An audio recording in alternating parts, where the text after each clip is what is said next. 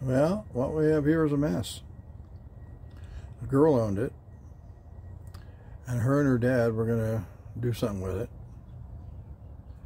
And then they decided that they were going to sell it. So they didn't know a whole lot about it. But now they want to get it running. So they don't know if a solid lift cam is in it or if a hydraulic cam is in it. They don't know.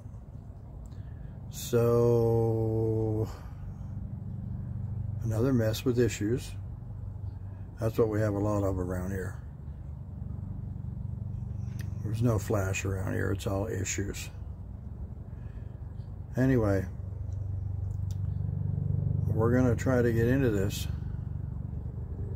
and figure out first if we've got any damage to the valve train at all. And then, of course, the cam situation. And then, who knows? On and on we go.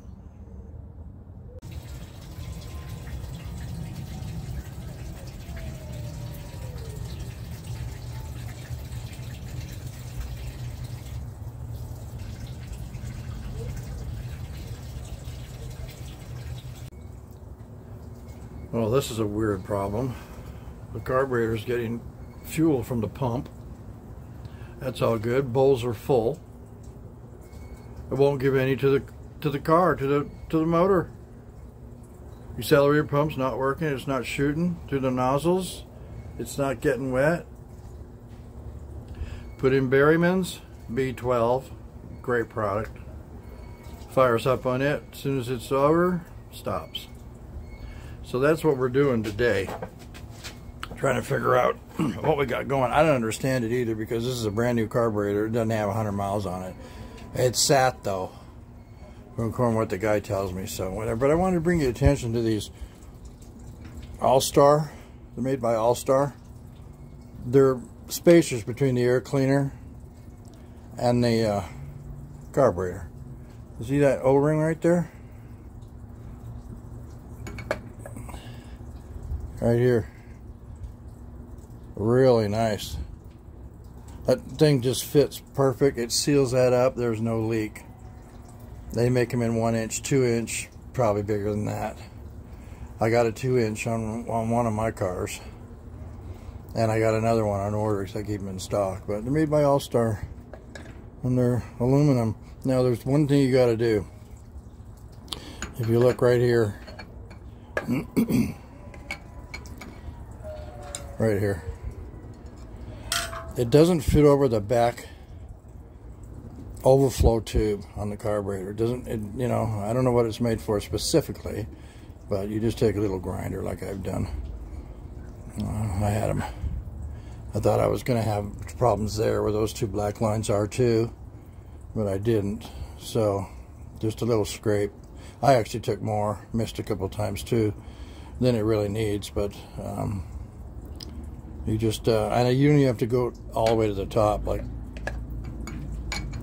you don't have to go from the very bottom to the very top. You could come up, probably get away with half. So I'm experimenting with it to see how they work. But I got them both to work, and they work fine. And that air cleaner, uh, the bottom piece of the air cleaner, it goes right around there, and it seals around the outside of this ring, this O-ring. I just think they're cool.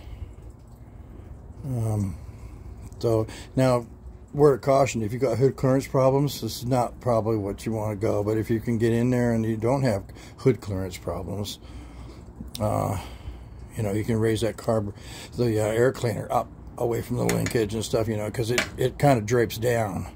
You can see there's all kinds of stuff here, so you don't want it hitting that.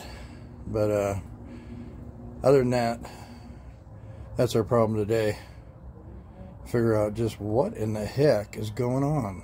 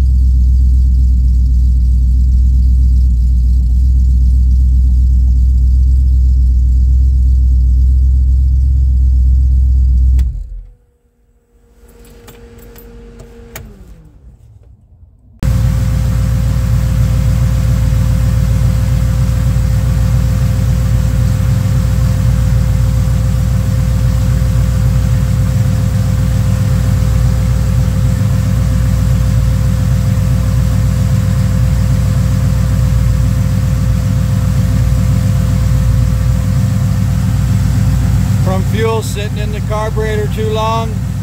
Kind of turned varnish, you plug some holes. Uh, got that fixed. Guess what? Voila.